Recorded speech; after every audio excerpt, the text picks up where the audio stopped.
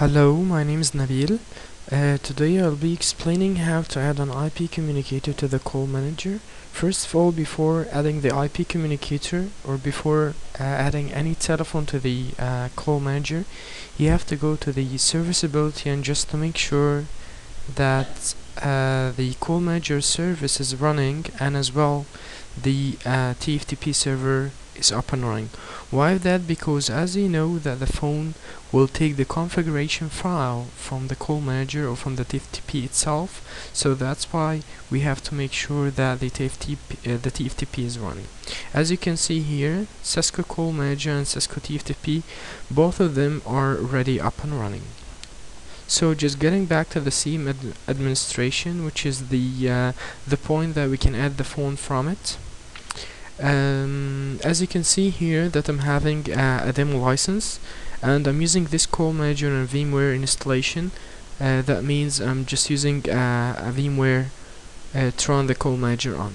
By going to device and then phone here you can just choose that I need to add a new phone. Uh, then you have to choose which type of phone do you have. So right now I'm using the software one which is called uh, Cisco IP communicator and then just go through next. Then you will having an option to choose whether you need to use which protocol skinny or SIP. Uh, skinny uh, it's a Cisco proprietary. It stands for um, skinny client control protocol. And SIP this is open standard one which is stands for session initiation protocol. So I'll be using skinny. Here I have to put the uh, the MAC address for the phone I'm using an IP communicator so this does not have it's not a physical phone so it does not have uh, a physical MAC address. However I can use a virtual one by just taking this one copy or I can just use my own one just creating any MAC address and just copy it and paste it and that would work fine. And here you will choose which way of communication you can connect to the call manager. For example if you're using Wi-Fi connectivity or uh, like Ethernet or something.